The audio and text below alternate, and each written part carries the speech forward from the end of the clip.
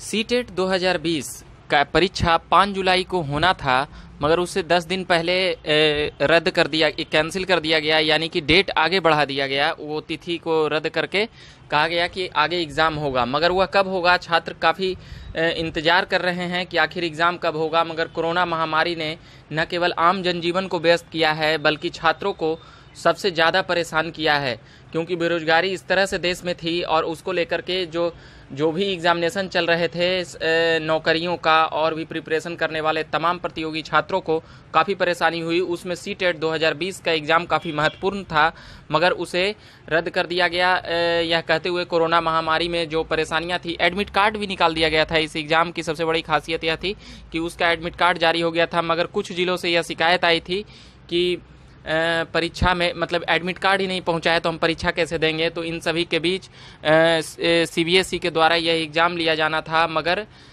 इसे ट्वीट करना पड़ा शिक्षा मंत्री को डॉक्टर रमेश पोखरियाल निशांग को कि वर्तमान परिस्थितियों को देखते हुए 5 जुलाई 2020 को सीबीएसई द्वारा आयोजित की जाने वाली सी टी ई टी परीक्षा को फ़िलहाल स्थगित करने का निर्णय लिया गया है। स्थितियाँ अनुकूल होने पर परीक्षा की अगली तिथि की घोषणा की जाएगी। अब देखना यह है कि परिस्थितियाँ अनुकूल कैसे कैसे होगी और कब होगी, क्योंकि छात्र, लाखों छात्र इस परीक्षा का इंतज़ार करते हैं और सी टेट जो सेंट्रल शिक्षक पात्रता परीक्षा है, एलिजिबिलिटी टेस्ट होता है प्रत्येक वर्ष लिया जाता है उसमें।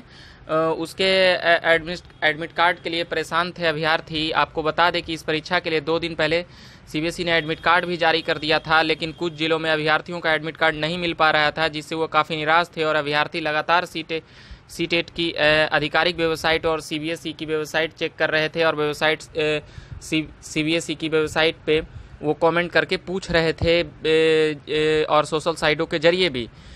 इसी बीच इन सभी बातों को सुनते सुनते और देखते देखते जब माहौल कोरोना महामारी के कारण ज़्यादा बढ़ गया तो एग्ज़ाम के को तिथि आगे बढ़ाने का निर्णय लिया गया। और अगला कब आता है सीबीएसई ने कहा है कि सी टेट जुलाई 2020 को लेकर उसको लिस्ट अपडेट करेंगे और C B S E dot N I C dot in पर लगातार उपलब्ध कराई जाएगी, मगर अभी तक तिथि नहीं तय किया गया है। इसके कारण छात्र इस तिथि को खोज रहे हैं और ये मांग भी कर रहे हैं कि आखिर कब होगा एग्ज़ाम, क्योंकि सी टेट दो हज़ार बीस कई छात्र इंतज़ार करते हैं, लाखों छात्र इस परीक्षा का।